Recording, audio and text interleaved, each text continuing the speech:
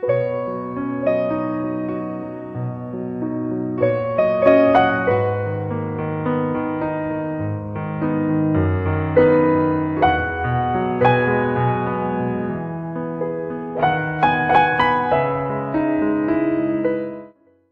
迦牟尼佛，南无本师释迦牟尼佛，无上甚深微妙法，百千万劫难遭遇。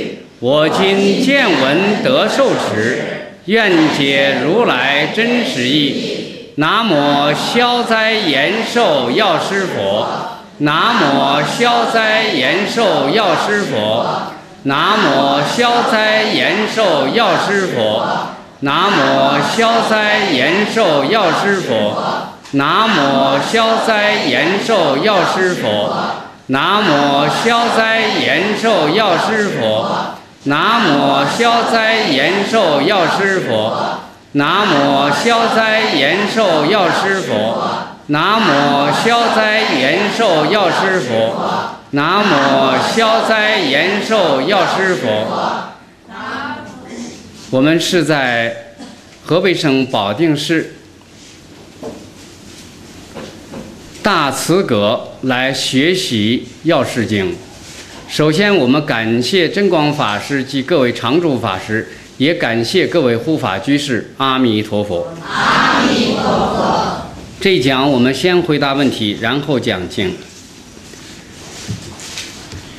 明天由于我们还继续讲经，所以晚上大家回家以后想一想自己修学上有什么问题，都可以写好了。明天你就放到桌子上，我们一一当面回答。法师在家佛堂初一十五上供，中午或下午撤供，第二天就不再上供了。这样做对吗？怎样才对？初一十五呢比较隆重，一般来说要供饭菜，在寺院里边叫上大供，不是每天都上，就初一十五上，或者佛菩萨的圣诞上。平时呢，那个叫大供，平时当然就小供，小供小到什么程度？你供一杯清水。点一支到三支香，看家里边的情况，点香太多了太呛，你就点一支，甚至可以点那个非常细的小香。如果家里边空间比较大，也可以点三支，啊，要要看情况，还有香的那个气味是哪一种，在家里边一般要点比较好的香，啊，对身体有好处没有坏处那一种香才行，因为空间有限的。另外呢，供两支蜡烛，但是你要离开佛堂的时候，要把香和蜡烛都灭掉。一般不供油灯，因为供油灯呢，呃，不安全。那个油灯呢，是在寺院里边长明灯，不许弄灭的。蜡烛和香可以弄灭的。为了安全呢，现在有些寺院都放那个平着放的那个香，它不竖起来的。还有盘香也是倒着的，它不会立着。蜡烛呢，走的时候必须熄灭啊，这个要注意。所以这个啊，上水、上香、点蜡烛，这应该是每天都有的，因为你有佛堂，要供佛，不能说第二天就不上供了。当然这个不如法，要天天上。但是呢，这个饭菜只有初一十五上大供才上。另外这个水果呀。好比说，还有一些啊花生啊、瓜子儿、这茶叶之类的，那你就是什么时候有了上啊，没有了就撤了啊，撤了以后就不上了，没那个都没关系。嗯。明正法师您好，儿子不信佛，家里也有酒，受了菩萨戒，弟子在家里搞卫生的时候拿酒，这样算犯戒吗？嗯。你搞卫生的时候拿酒，和你给别人倒酒拿酒器，这是两回事啊！你不要混到一起，这个没有关系，不算犯戒。过午不食是否算八关斋戒？过午不食只是八关斋戒的其中一条，但是这一条很重要，是八关斋戒的核心。嗯，光光持这一条不叫八关斋戒，因为有最起码有八条。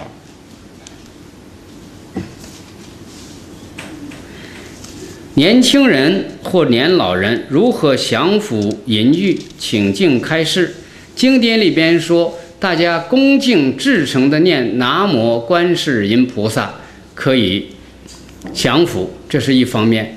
另外的呢，就是日夜精进修行，把心全部用在修行上面，就可以降伏。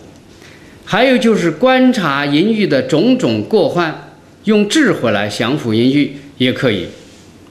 再说呢，在饮食上要注意，能够激发淫欲的这些葱、蒜、韭菜坚决不吃，肉、酒坚决不沾。这样的话，能够非常有效的降低这个欲望。另外，就是不看有关啊这方面内容的电影、电视、电脑节目等等。不跟人呢开有关这方面的玩笑。尊敬的法师，请慈悲开示：持诵消灾延寿药师佛的名号，等同药师琉璃光如来的名号吗？完全相等。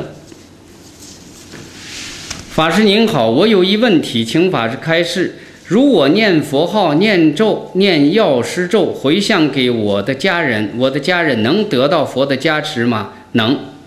能起到自念所得到的效果吗？不一定，因为是你念，不是他念。你要引导他也来念，你告诉他你信不信佛，且不论，你先跟着我念，念了以后就会有效果。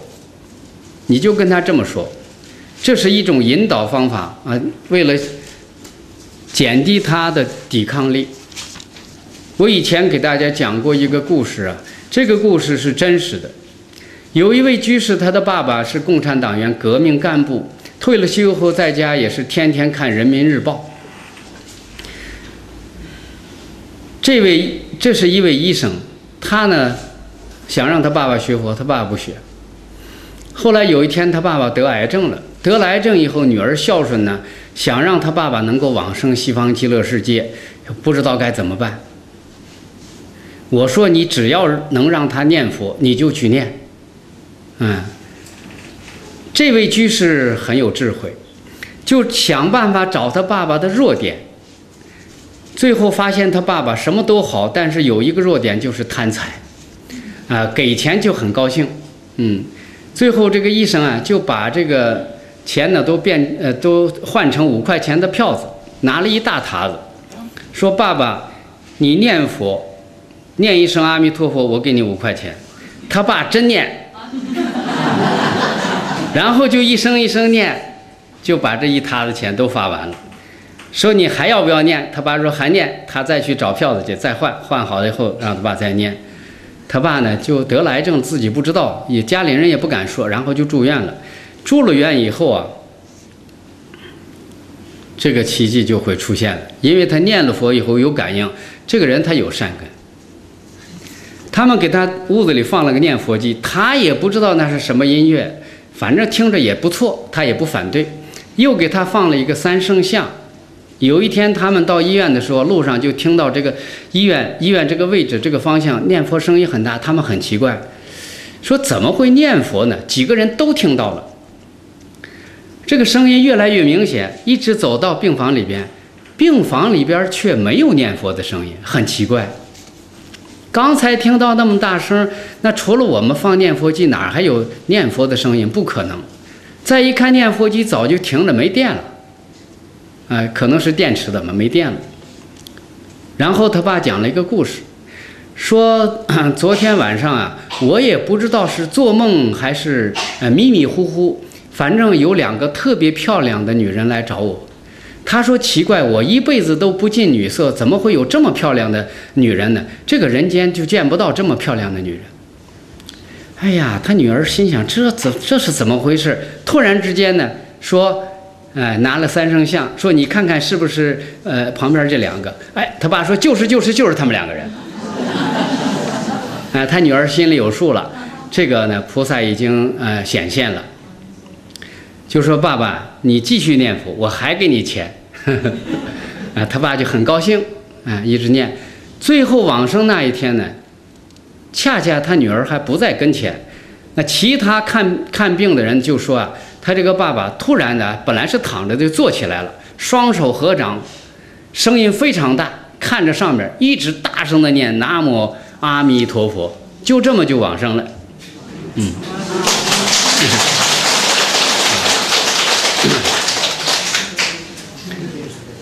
所以的话，我们想办法善巧方便，只要让家人或者周围的人，他能够念，念了以后佛号，佛菩萨自有加持力，我们就不用担心后面的事情。开始这个启动啊，这个你引导他，这个要我们来做的啊。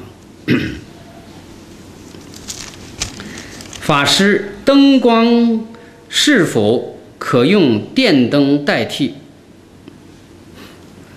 什么灯光啊？应该是蜡烛吧，哎，哎，适当的也可以了，哎，有那个意思嘛，供养就可以，反正是光明嘛。这个花呢，不能都是假花，要有假花，还要有真花，啊，供养佛菩萨不能都是假花，假花是长期放那里都可以，还要有真花，啊。师傅您好，八关斋戒的内容是什么？过了二十四小时以后还要怎么吃？嗯，都要过午不食吗？受八关斋戒只是一日啊，一日一夜而已。过去以后，这个戒的效果就失掉了，它就只有这么二十四小时的时效。这个戒非常特殊，意思是让在家的居士能够过一日一夜出家人的生活。所以，按照正式的呃规则来说的话，应该是在寺庙里度过，而且二十四小时应该是不睡觉修行，因为要二十四小时精进修行嘛。嗯，专门有关于八关斋戒的啊经典。如果你们想要，就给我发信息，然后我我从那个电脑里边给你们把这个材料发过去啊。自己在电脑上寻找也可以，有关八八关斋戒的经典。八关斋戒的内容呢，和沙弥戒的内容类似，只有一条不一样，就是沙弥戒不可以捉持金银生相，啊，就是金银钱呐，这些钱财呢，啊，不可以拿，因为出家人。嗯，不过这一条现在也变了，因为出家人没有办法，不像。呃，这个 泰国的那种那种状态，泰国出家人呢，坐车也不要钱，坐什么车也不要钱，坐船也不要钱。那我们你你坐坐三轮车也跟你要钱，所以没有办法，大家就得拿钱。嗯。过了二十四小时以后，你要连着受持，第二天要再重新受。所以我们如果说打气的话，那就有。六七天的时间，每天早晨受八关斋戒，因为是住在寺庙里，就非常方便。如果不是住在寺庙里边，你受完戒以后要回家要上班，那你要非常注意才可以，一不小心就犯了啊。过午不食呢，受了八关斋戒的这一天，一定是过午不食。如果你不受了，当然就可以。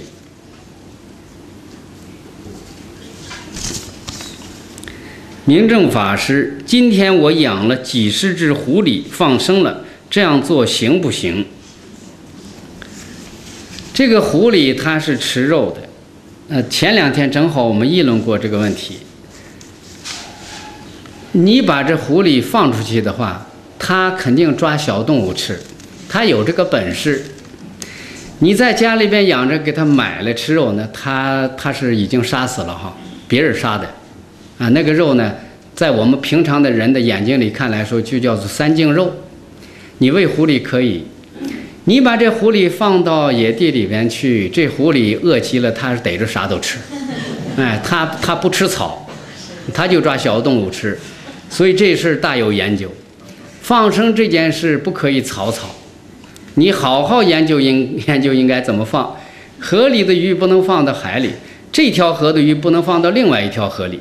有的鱼呢适应每条河，有的鱼它的生命范围非常狭窄，换了一条河就死。你要好好的研究。家养的这些鸽子呀、小鸟儿放出去没有用，几天能量消耗完了就死，它不会不会在野地里找食。它如果学会需要很长的时间，没等它学会，别的动物就把它弄死了。啊，我们曾经放过鸽子，这鸽子呢，它不像野鸽子一放就全没了，都都飞走了。它在野地里，它它没有没有没有自己的窝，它找不到，它也不知道该到哪里。到了晚上，这个猫啊都叼叼这个鸽子吃，因为鸽子跟鸡一样，晚上什么也看不见了。我们一看急了怎么办呢？就把这个剩余的鸽子呢，想办法，我们得像猫一样的抓这鸽子。到了晚上，我们悄悄地抓它，哎，很很不容易，因为它不一定落到什么地方。然后把它买了一个笼子，放到笼子里，在笼子里呢，我们给它喂这个粮食，让它吃。这猫就抓不到了，可是我们就增加负担了，天天的操心这鸽子，啊，然后要给它喂，所以以后我们就不放这样的鸽子了，啊，放鱼比较好，嗯。请法师三天讲经之后给大家授八关斋戒，可否？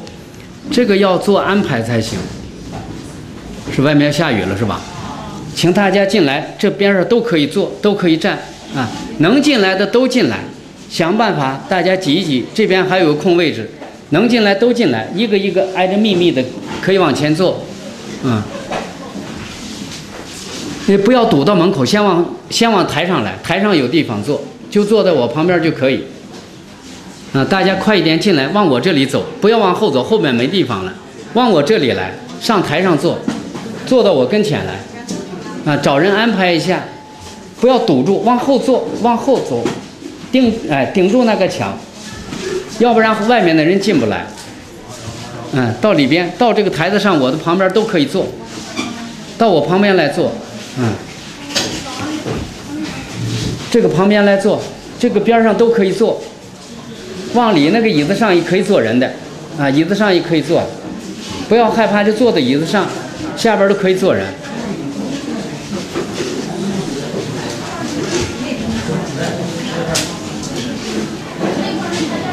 你让大家进来，里边还有好多地方，里边还有地方，就坐到这个台上来就可以，坐到台上来没有关系，这边还有地方，坐到这边来，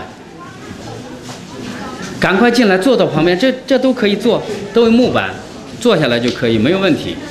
过来，过到这边，到右边，到我右边来坐，挤一挤就坐到我旁边来，到坐到这里，啊，给给后面让地方，先往我跟前坐，坐到这里来，嗯。赶快坐下来，坐下来。没关系，没关系啊，先先。哎，这这里边还有地方，过来坐到坐到这个旁边来，这台上可以坐呀。对，咱们把那个距离稍微压缩一点，咱们都动一动，把压距离压缩一点，压缩一点可以再近一些。对，再往后退一些。好好好，对。好，有凳子可以再往前坐坐。里边还有地方能安排，外面如果淋到雨就赶快请进来。坐这儿。再往里走。这里边这个台上都可以坐。台上还可以坐。台上您就坐在这儿就可以。对，可以打坐。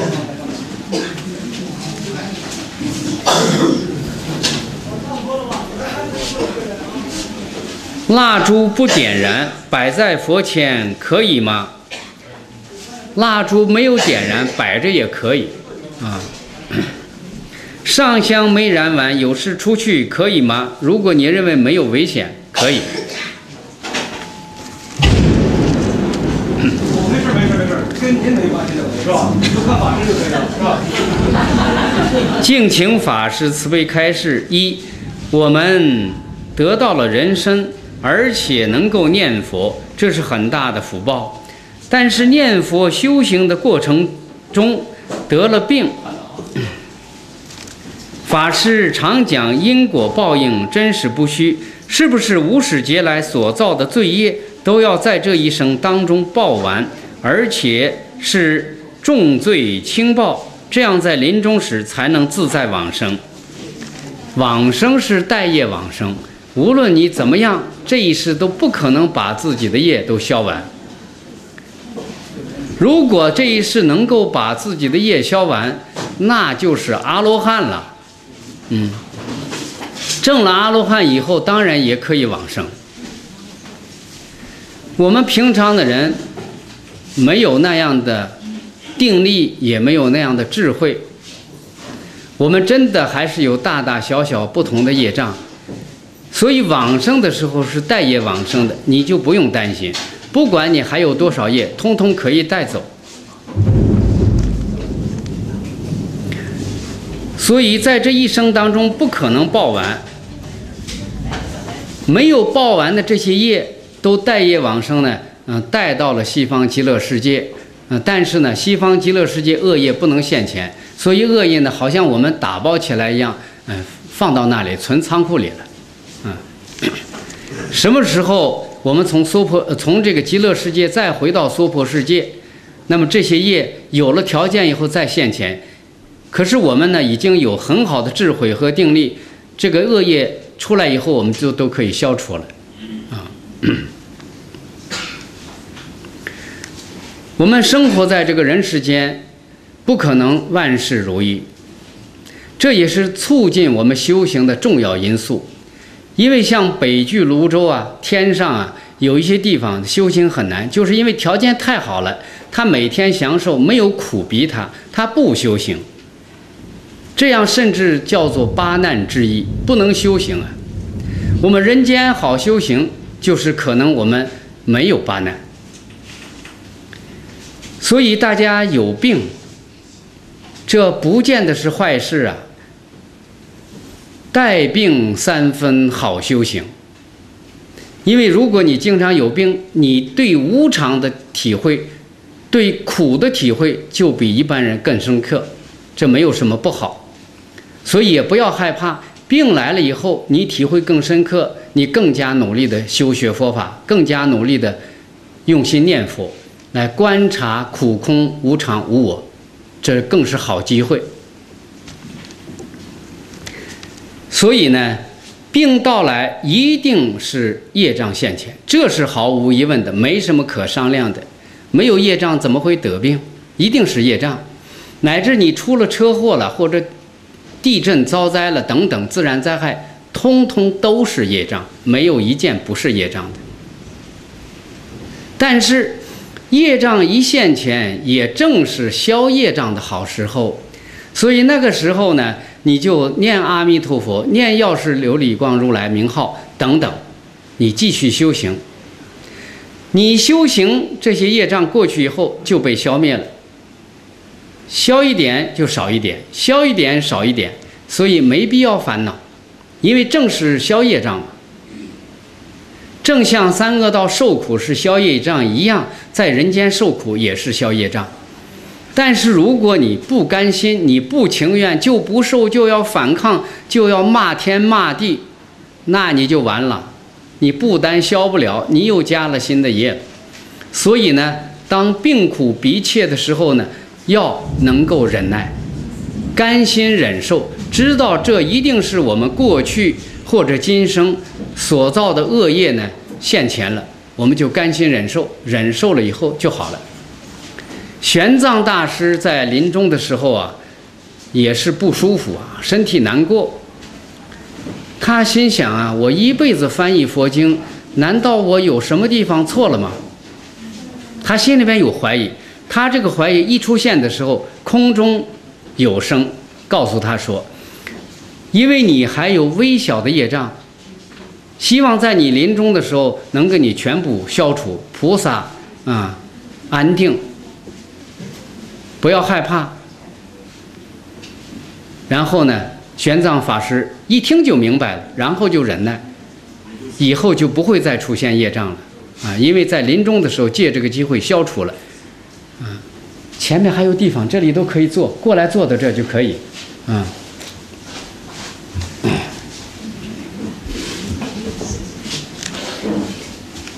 能进来尽量进来，这边上还有这么大地儿呢，啊。嗯，不要都堆在门口，门口没办法站的，站不下的，啊，坐到台子上就可以。会盘腿的坐到台子上，盘着腿坐着就可以。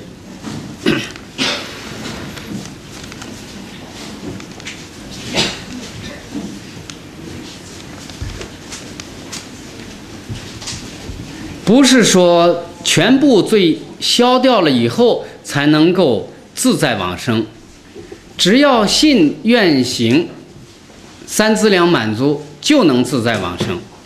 只要受了八关斋戒，就能自在往往生；只要能够诵普贤菩萨行愿品，就能自在往生；只要能够念药师琉璃光的名号，也能自在往生。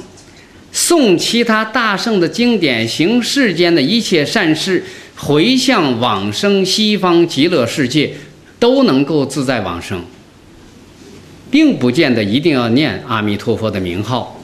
你善于回向。也可以往生，没有问题。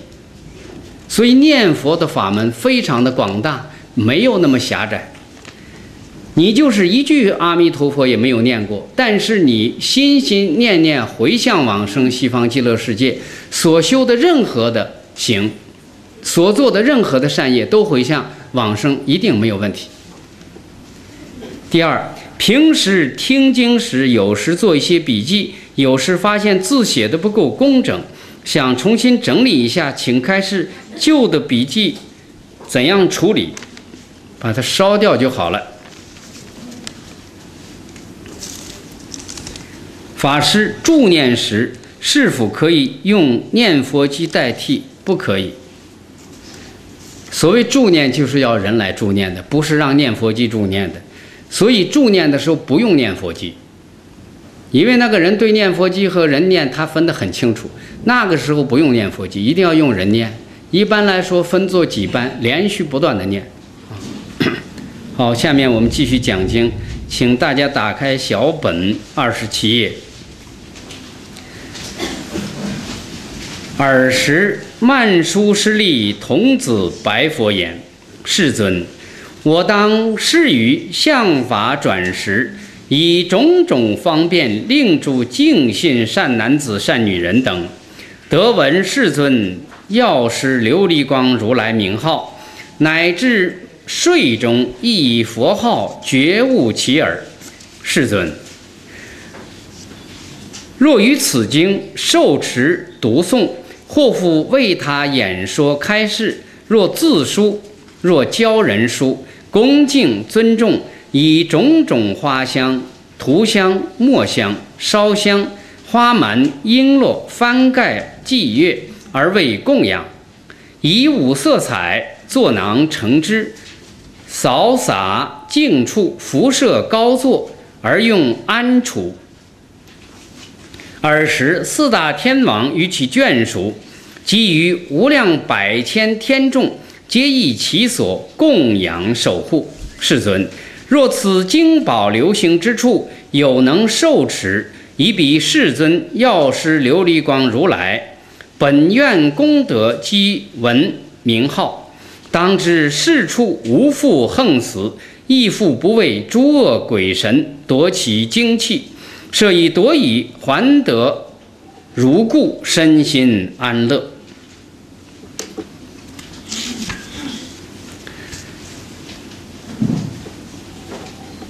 佛对文殊菩萨讲了很多前面的内容，然后文殊菩萨就对佛讲：“世尊，我要发大誓愿，在相法转时，相法转时就是佛不在以后，还能够转法轮的这个期间，要以种种的方便善巧。”让这些敬信的男子、女人等都能够听到药师琉璃光如来的名号，那我们也应该学习文殊菩萨的榜样，想尽一切办法让大家能够听到药师琉璃光如来的名号。我们自己念，所以念佛呢，出生念有出生念的殊胜啊。出生念别的生命也能够听到，周围的邻居说不定也能听到，过路的人也能听到，一经于耳，就成为道种，就能够得到殊胜的利益。所以这个呢是出生念的好处啊。如果不出生念呢，你心里边就会听到自己心里边念佛的声音，这个比较容易摄心。但是打坐的时候啊，如果是默默的念，如果有些人功夫不行，就容易打瞌睡。所以小声念啊，或者起来惊醒念，不去打坐，这样呢就减少昏沉。总而言之，想尽一切办法，让药师琉璃光如来的名号、消灾延寿药师佛的名号是，越来越的越多的众生能够听到，乃至睡中忆佛号，觉悟其耳。这就是说，有人睡着了也没有关系，你继续念。有的人他是似睡非睡，这第六识呢还没有消失。你念的时候也能起作用，甚至有的时候第六识呢睡着了不现前了，第七识还在。这个药师佛名号的法尘仍然能够被第七识所受持，因此仍然有相当的功德利益。所以有人呢想让孩子的英语好，那么就放这个英语的一些啊内容，睡着了以后用一个机子在他耳边轻轻地放着，都有一定的作用，这个是有道理的啊，潜移默化嘛，不断的重复就会发生作用。文殊菩萨继续说啊，如果这个经典。有人能够受持读诵，或者为他人演说开示，所以演说开示啊，有些经典说，哪怕你只演说开示一个四句偈，也就是短短的几句话，也有很大的功德。因此呢，我发愿要在我们大陆办讲经学习班。不论男女老少，哪怕你九十岁、一百岁，你愿意学都可以，但是前期不可以。啊，等到以后因缘成熟以后 可以，因为前期我要用电脑教学，所以要会电脑的人参加，而且前提你去到那个地方参加，我们有网线，让你能够方便上网，你必须自己手啊带一个手提电脑。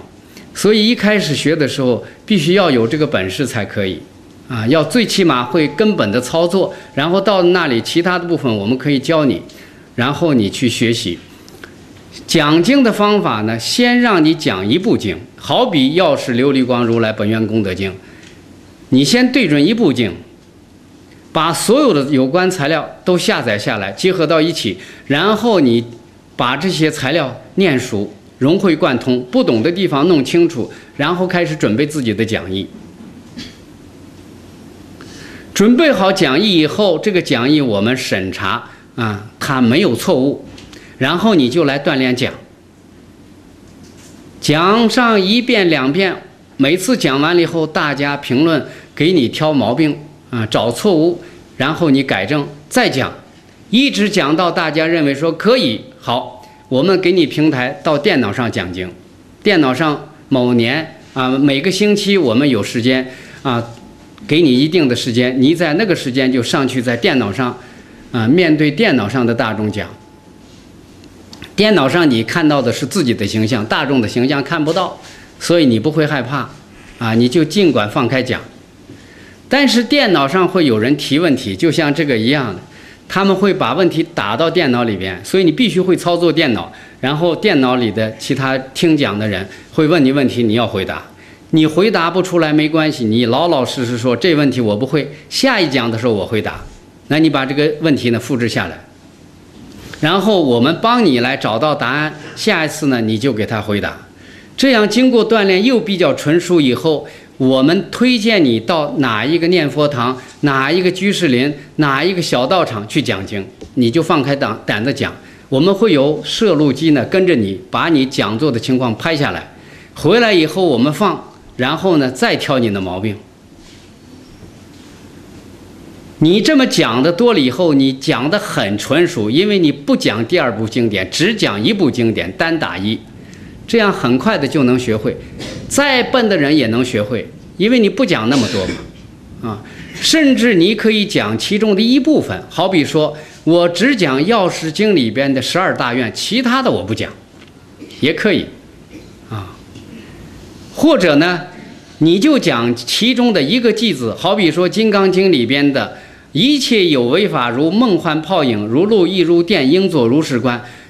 我不会讲别的，我就讲这一个句子也可以。或者你讲一个专题，好比说如何念佛能够功夫成片，等等。或者你讲受八关斋戒有什么功德利益？你只讲其中的一个内容也可以。没有人学不会的，个个都能学会。所以我们广泛的来培养讲经的人才。如果你这样去参加，你自己首先必须学好。所以这对自己的修学是一个极大的促进。而且只要你讲经，你就有功德。这个功德利益不单是你得，而且听讲的人也得，这样我们广泛的流传开来，我们慢慢的就会有很多优秀的讲经人才出现，啊，我发了这个愿，希望大家以后有机会广泛的参加学习。阿弥陀佛。我们这个学习班也不会固定在一个地方，如果方便大众，比如说保定的人愿意。愿意修学，我们以后可以来保定办学习班。那么保定的人就不用到遥远的地方去参加，就在这里等着机会也可以，啊。另外，我们培养出一批优秀的老师，能够教别人讲经的时候，就不见得非是我亲自教，他们也可以教。这样的话，教的人就会越来越多啊，成为讲别人如何教别人如何讲经的老师。啊我们在优秀的当中再选拔优秀的，这样的话就会出现很多优秀的讲经人才。另外就是自己写经或者教别人写经，尊重供养，以种种的香花、璎珞、幡盖、祭乐，就就是好比说我们布置佛堂布置的非常好，我们开法会。布置道场布置的很好，就都是指的这些，这些都叫供养。下面说呢，以五色彩做囊成之，囊制一个小袋子，用五种彩色的线，五种颜色，后面有具体的讲法。把它挂到一个什么地方啊？我们把一个干净的地方。扫打扫好了，辐射一个高座，把这个经典供在那个地方。供养经典呢，最殊胜的是如法修行。刚才有一位居士说：“我岁数大了，我也读不了经，我供经行不行？我把这个经典放在供桌上。”我说可以，那就是指的这个方法。那供经的时候啊，我们一定要非常的认真，如理如法。不可以随便摆到桌子上就算了，不可以把经一半放在桌子上，一半在外面，这个不可以露出来，要最起码和桌子是平的啊，齐的。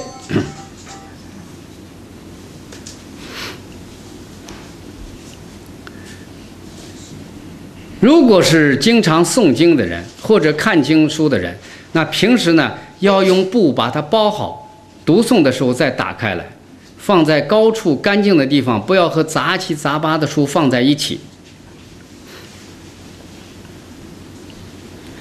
如果能够这样做，那么四大天王和他的眷属，以及其他无量百千天众，都会来到你这个地方，来供养和守护。因为凡是有经在的地方，就叫做有三宝，三宝具足的。只因为法宝是核心，所以供经书啊是很重要的。你只要家里边有经，你这个地方就有四天王和他的眷属以后还有其他的天众来守护，平常我们看不见，所以你家里边永远是安宁的，没有事的。如果有事，那肯定你在什么地方做错了，不如理或者不如法，这个要自己去检讨啊。因为有的时候啊，那个经书乱扔啊，哎，杂七杂八，还有一些讲经的书。虽然不是直接的经书，但是那个书上啊，它有它有经文呐，有有其他经书摘录下来的一段一段的内容，也不可以乱抛乱放啊。我看到有的人家，啊，把这个书放在厕所里，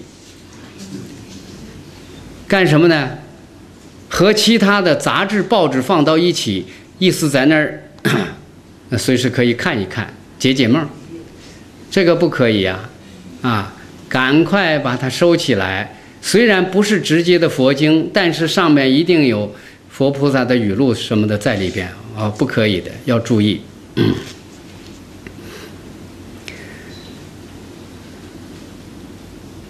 由于能够这样受持，能够使这个经宝流通，好比说，大家如果是一个会修行的人。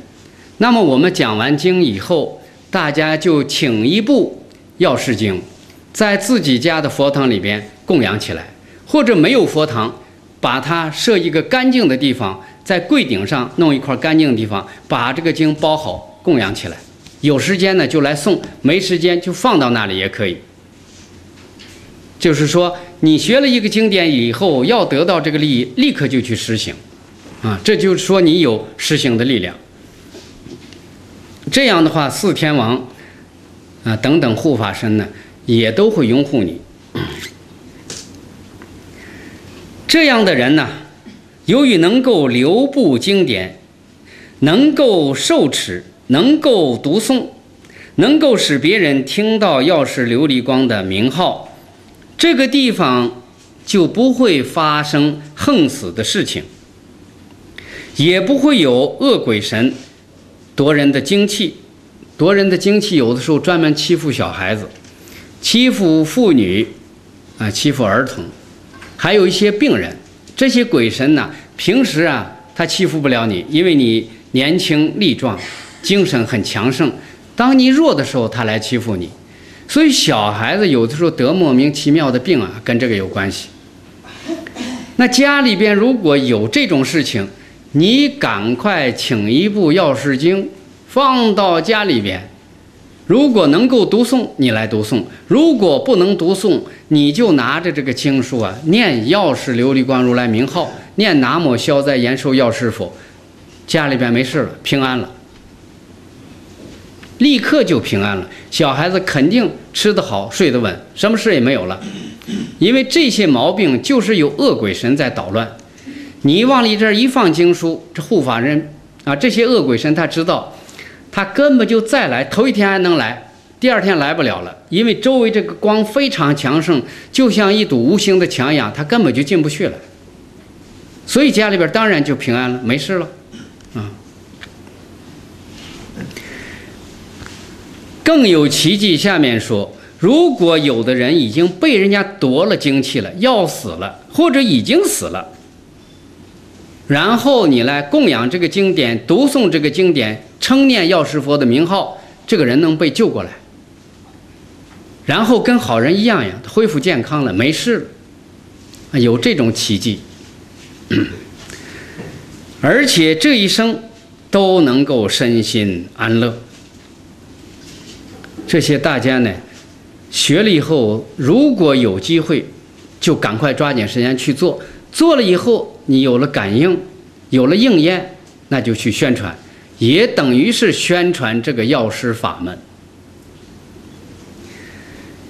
因为比起《阿弥陀经》和往生西方极乐世界，《药师经》的法门在历史上提倡的不是很早，也不是很广。现在经过一些大德，比如说啊弘一法师，还有印光大师。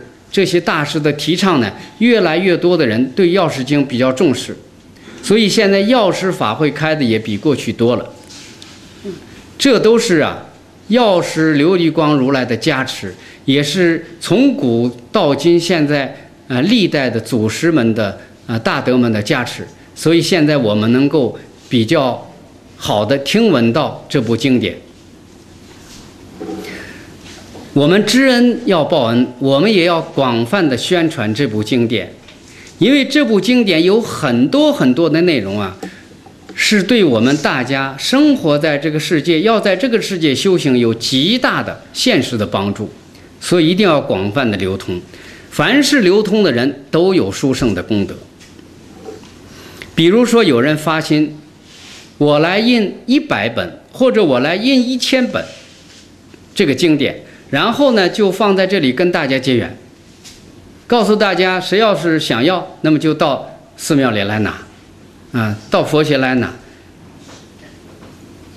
那真光法师和其他的法师也会啊告诉大家啊，有人已经注印了这个经书，那么大家也可以啊，你三十我二十，你七块我八块，那有人有钱我三百五百都可以，然后注印这个经书，或者印药师琉璃光如来的那个啊卡片，佛像小小的佛像，便于在身上携带。啊，都可以。我们再往下看下一段。佛告曼殊师利：如是如是，如汝所说，曼殊师利。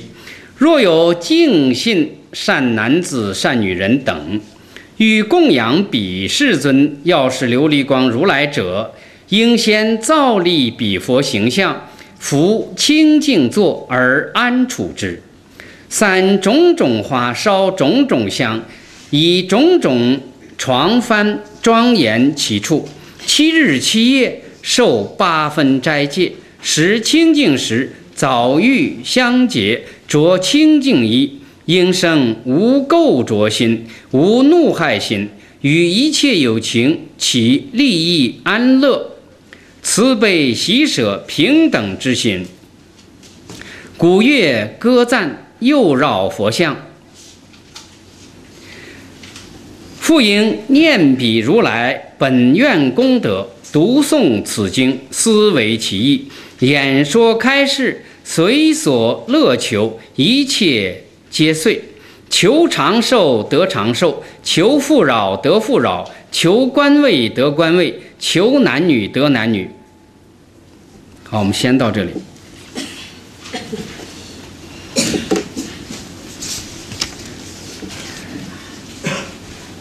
文殊菩萨说完以后，本师释迦牟尼佛立刻就肯定说：“是这样的，正如你所说。如果有敬信的善男子、善女人等，包括那些不太敬信的，都在里边。只要能信，就比不信强。如果想要供养，要是琉璃光如来。”应该先有佛像。为什么我们说供经书也可以？因为很多的经书前面就有佛像的，啊，像我们这个小本子上也有，啊，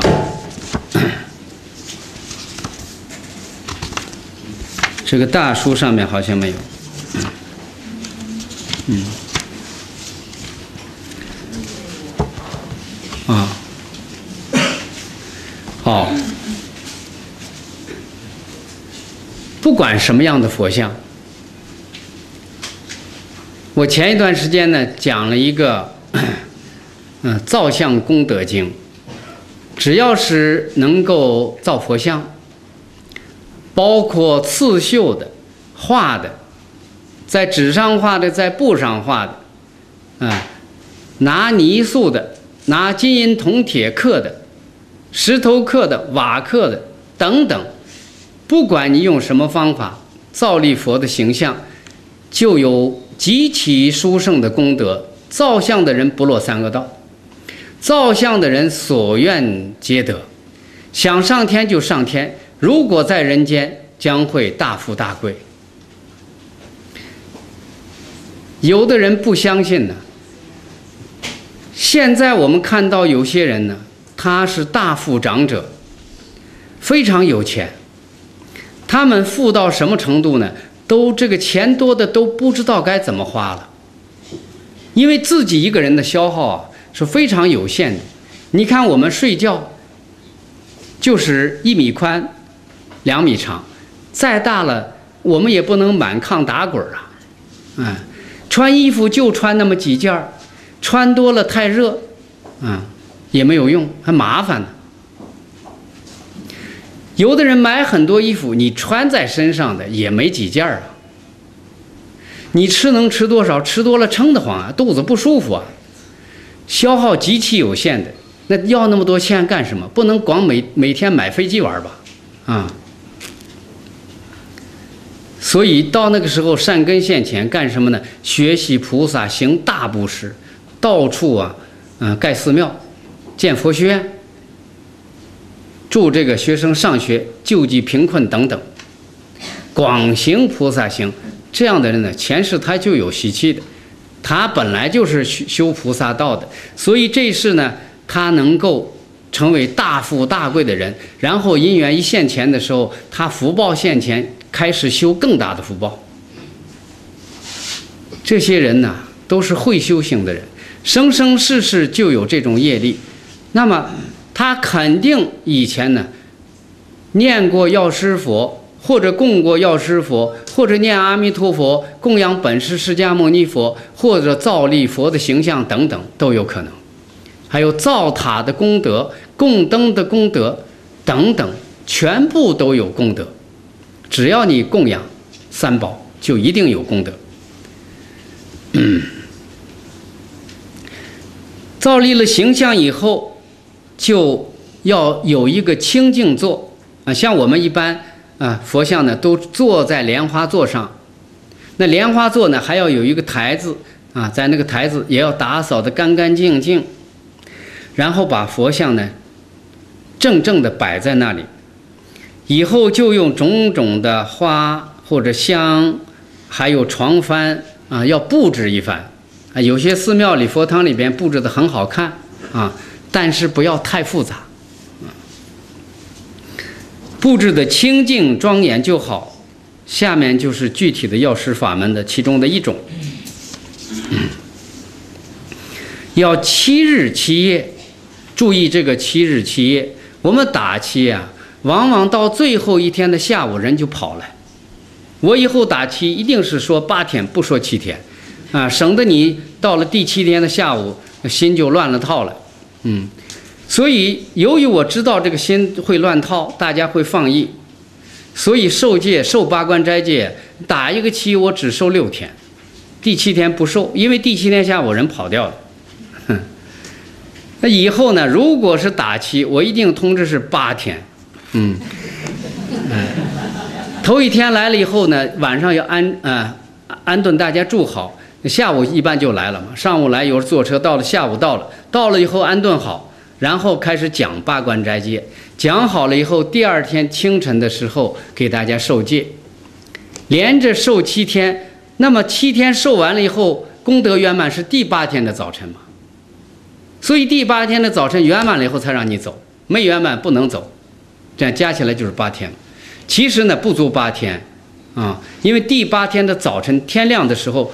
就算已经圆满了，啊，你就可以可以走了，啊，所以呢，要有一定的耐心，要不然的话，七天不能功德圆满，很可惜的。就像这里说，要七天七夜，啊，整整的七天不能少。我们一般二十四小时念佛，连一分钟都不让它少。受八关斋戒也好，那个时间计算的好好的，不能少，少了以后挺可惜啊。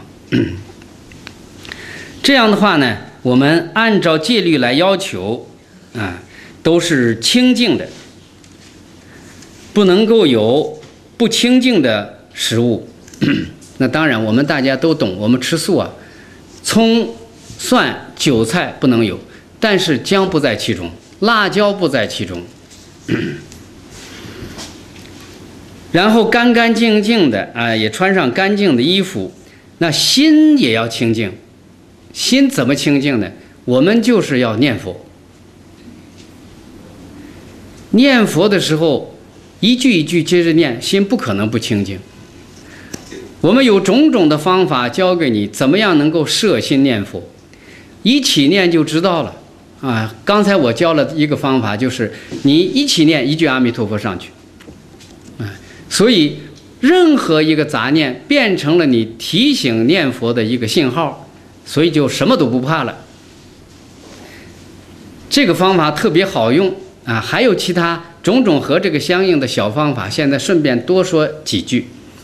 好比说，你眼睛的目光，你会转移目标。你用这个方法练的时候啊，不管眼睛，眼睛一定会动的，谁都定不住的。如果能定住，你就有能力入禅定。你仔细观察自己的这个眼光，你定不住，定不住没有关系，你让它随便走。